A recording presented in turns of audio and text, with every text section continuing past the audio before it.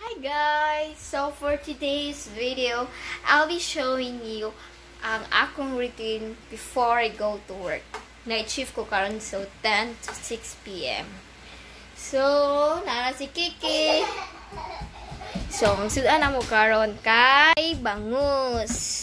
Agay. To the look at those fats, guys. So, gamay na lang, maluto na siya. Also, among rice. Karon na ay bata na sa mukan. Mm. Hoy, nagsayaw siya! Ayaw nasayaw, oy.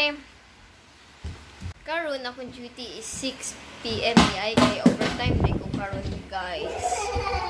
Ay. Ligo na ko.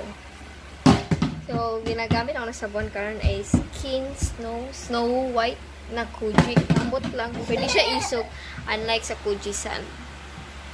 So, karon ipakita na ko niya akong place sa work and everything. So, karon ma-prepare sa ako kay hapit na 5 p.m. Magbiyahe pa ko and everything. So, say bye-bye.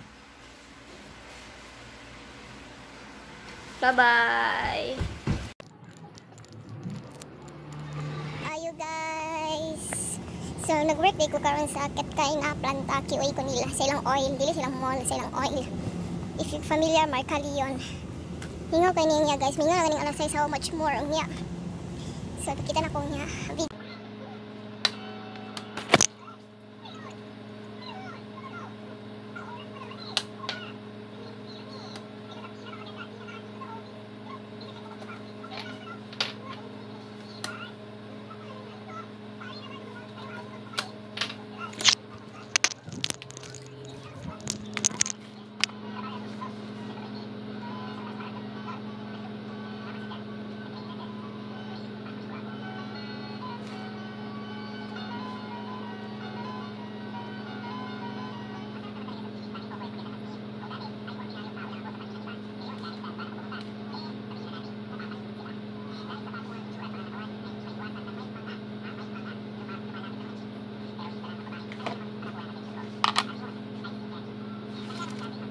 Hi guys! So, for today's video, akong gipakita sa inyo ah, ang akong gabuhatin itong last video ang sa kani.